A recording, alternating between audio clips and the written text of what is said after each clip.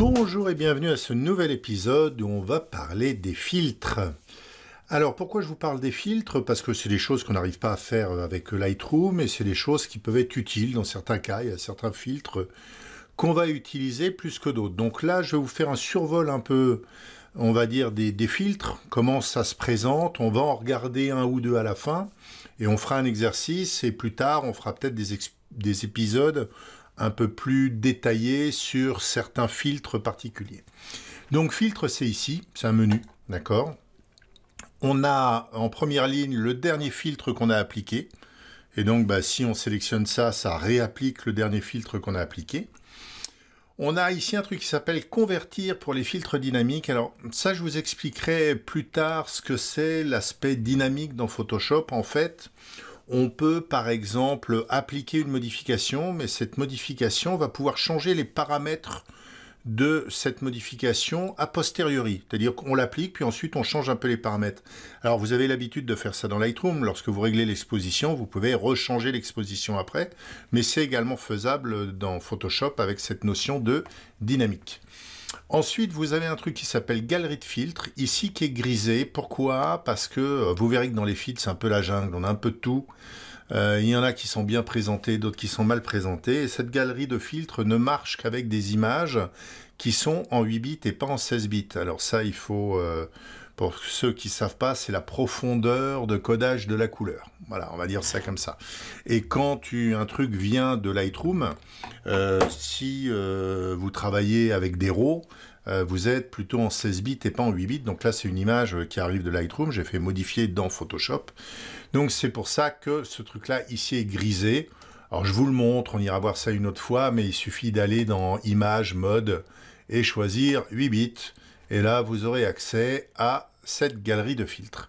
Alors par exemple, cette galerie de filtres, je vais quand même vous l'ouvrir pour montrer. Alors vous avez une notion de, zoom ici, hein, où vous pouvez euh, choisir euh, euh, taille écran par exemple, pour le voir à l'écran, et vous avez comme ça toute une série de choses, où vous allez par exemple pouvoir transformer ça en aquarelle, voilà, et vous allez ici choisir certains paramètres, d'ombre, de texture, ça vous en avez, il y en a, toute une série. Hein, on va en trouver plein. Euh, vous pouvez faire comme si c'était emballage plastique. Voilà, donc là vous voyez, c'est comme si c'était emballé dans du plastique. Donc ça, vous ferez mumuse euh, vous-même. Euh, moi, je dois avouer que, à part quand je cherche un effet vraiment particulier, je vais très peu dans la galerie de filtres, mais vous pouvez faire des trucs marrants comme ça, c'est assez, c'est assez créatif. La dernière fois que j'y suis allé, alors ça doit être... où est-ce que j'ai fait ça? Ça doit être dans texture et j'ai fait quelque chose avec vitrail. Euh, c'était pour faire une bannière pour un site web, pour un, groupe Facebook qui parle de Photoshop et ils ont lancé un petit concours là-dessus et donc pour montrer qu'on pouvait faire des manipulations avec Photoshop, j'ai utilisé euh, le filtre vitrail, mais c'est à peu près la, la seule fois où je suis allé dans cette galerie de filtres. Donc vous verrez que pour chaque filtre, là vous voyez, vous avez la taille, euh, la taille de, chaque truc du vitrail. Vous avez le plomb, c'est ce qui va être euh, en bleu, là, ce qui va séparer. Vous pouvez le faire plus ou moins gros. Donc, vous voyez, vous pouvez faire toute une série de choses. Ensuite, on a des filtres assez euh, complets et particuliers qu'on verra. On verra notamment le filtre fluidité euh, qui permet de modifier un visage, qui permet de déplacer des zones un peu comme ça, comme on veut. Donc, on verra euh, ce genre de fil. Vous voyez, c'est des fils qui sont quand même très complexes, avec beaucoup d'options, avec plein de choses de partout. Donc ça, on fera euh, des épisodes vraiment sur ce genre de filtre particulier. Et ensuite, vous avez, alors 3D, euh, on va pas aborder la, enfin, je vais pas aborder la 3D pour l'instant, on, est loin du Photoshop de base. Donc là, je vais regarder plutôt des filtres que j'utilise tous les jours. Par exemple, moi, j'utilise très souvent un filtre pour faire du flou.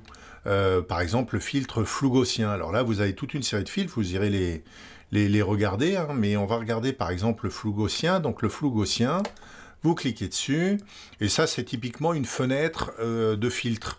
C'est-à-dire qu'on a un paramètre, d'accord? Donc vous voyez, là c'est pas flou, là ça commence à devenir un peu, là ça l'est encore plus, et ainsi de suite.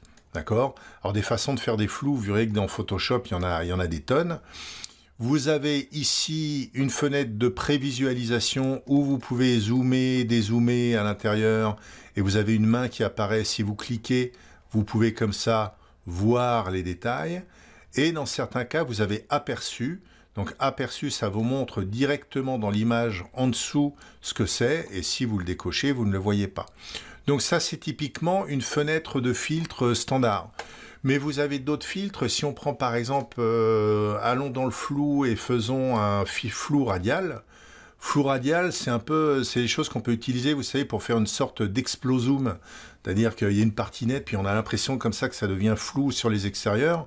Vous avez une image ici qui représente, mais vous voyez que là, par exemple, pour ce filtre-là, qui doit être un vieux filtre qui date de Mathusalem, vous n'avez pas de prévisualisation, vous pouvez changer le centre, oui, d'accord, si vous cliquez là euh, sur la fenêtre, mais vous n'avez pas de prévu, prévisualisation, hmm, difficile, euh, ni là, ni là à l'intérieur. Donc en fait, là, vous y allez par exemple à tâton, euh, vous faites OK, ça applique le filtre, ça vous plaît ou ça vous plaît pas. Si ça vous plaît pas, vous annulez. donc euh, c'est ça, un truc d'explosoom. Si ça vous plaît pas, vous annulez avec CTRL Z par exemple, et vous y retournez pour voir ce qui se passe. Donc là, il y a toute une série comme ça de, de filtres. Alors, les bruits, j'y vais rarement.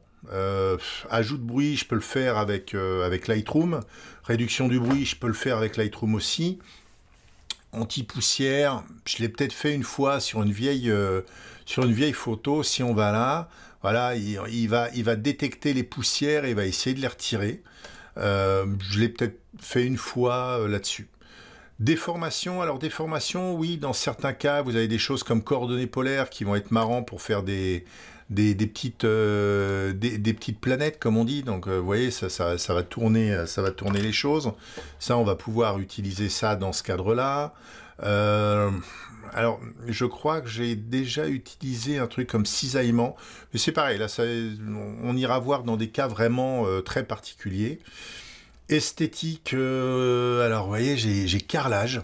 Alors, carrelage, nombre de carreaux, euh, et si je fais OK, qu'est-ce que ça fait? D'accord, ça fait ce genre de choses, pas très très beau. Donc vous voyez, il y en a vraiment toute une série que vous allez trouver dans les menus là. Et puis ensuite, vous, si vous installez des, plugins, euh, des plugins comme les, plugins Nick Collection ou ainsi de suite, vous allez les voir arriver là. Là, vous voyez par exemple que j'ai euh, Topaz Sharpen AI. Donc je peux à l'intérieur de Photoshop appeler d'autres filtres qui viennent d'autres sociétés. Donc euh, bah, là, vous allez, euh, c'est quoi euh, Alien Skin par exemple, ils font plein de trucs. DxO aussi vont faire des choses avec les filtres NIC. Vous allez avoir comme ça plein de boîtes qui vont vous proposer des choses. C'est là que vous les appelez. Donc ça, c'était vraiment un survol pour voir un peu où se trouvent les filtres. Ce que je vous propose maintenant, c'est bah, d'être un peu curieux et je vais vous proposer un exercice et euh, il va falloir euh, ben, comprendre comment le faire, cet exercice. Donc pour l'exercice, euh, allez sur mon site là où il y a les photos, hein, photo.wiphoto.fr slash portrait. Et on va prendre cette photo-là, non, celle-là. On va prendre celle-là d'Aurélien. Et donc, clic droit, enregistrer l'image sous et ouvrez-la sous Photoshop. Et on se retrouve sous Photoshop. Donc, vous avez ouvert la photo sous Photoshop, donc normalement vous avez la même chose que moi là sous les yeux. Et ce que je vous demande simplement, c'est euh, ben, de cette photo-là en faire ça. Pas compliqué. C'est parti. Allez, vous faites l'exercice, vous arrêtez la vidéo et on se retrouve pour la correction. Donc pour la correction, euh, on va euh, repartir de la photo. Euh, donc je vais supprimer ici ce calque. Donc ça, c'était la photo d'origine. Donc simple, vous avez vu que c'était flouté. Je prends ici une zone que je veux flouter. Je fais filtre, flou. Là, vous doutez bien que j'ai utilisé le flou gaussien puisque c'est celui que je vous ai montré. Là, vous pouvez régler plus ou moins le paramètre de flou que vous voulez. D'accord? Ok. Et puis ensuite, j'ai pris l'autre partie ici de ce côté-là. Et là, j'ai simplement fait filtre flou gaussien puisque je viens déjà de le faire. Là, ça refait le même filtre, flou gaussien. Et voilà, vous avez flouté de chaque côté.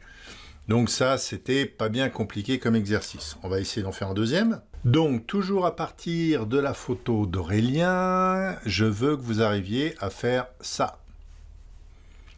Donc, bah, vous jouez. C'est parti. Donc, si on regarde, on a des traits là comme ça qui vont tous vers à peu près ce point-là. Donc, c'est centré, c'est un filtre radial, je vous l'ai montré. Vous doutiez aussi que j'allais utiliser celui-là. Euh, mais par contre, la tête d'Aurélien est nette. Alors, on va, on va regarder un peu ça. Je vais euh, supprimer euh, supprimer le calque. Donc, je vais dupliquer ce calque, mais je ne crois pas que je vous ai montré comment dupliquer un calque. Donc, ce que je vais faire, je vais faire un nouveau calque. Je vais faire une sélection ici. Ça, vous l'avez déjà vu. Je me mets bien sur le calque d'en dessous. Je fais édition copier, je vais sur le calque d'au-dessus, je fais édition, coller, et je viens de dupliquer mon calque. Bon, il y a une fonction plus simple, vous cliquez sur un calque, vous faites un clic droit et à dupliquer le calque, hein, ça va plus vite. Mais bon, comme j'étais pas sûr de vous l'avoir appris, on va faire avec uniquement ce que je vous ai appris pour l'instant. Donc sur ce calque-là, j'ai un filtre radial. Donc filtre, et je vais simplement dans flou radial, d'accord? Alors là, c'est les paramètres que j'ai utilisés, mais testez-les, euh, c'est bien euh, un zoom et je veux une qualité supérieure et je veux un, gros filtre radial. Ok. Voilà, donc ça, euh, ça ressemble à peu près à ce que j'avais, sauf la tête d'Aurélien, là, qui me va pas.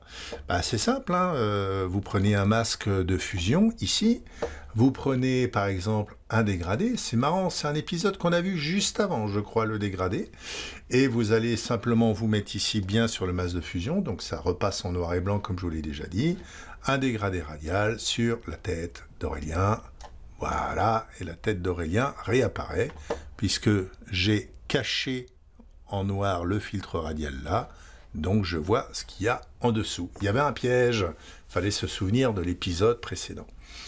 On va s'arrêter là pour aujourd'hui. Vous verrez les filtres, on pourra aller très loin sur les filtres. Et les filtres, c'est vraiment quelque chose qui n'existe pas dans euh, Lightroom, ou très peu.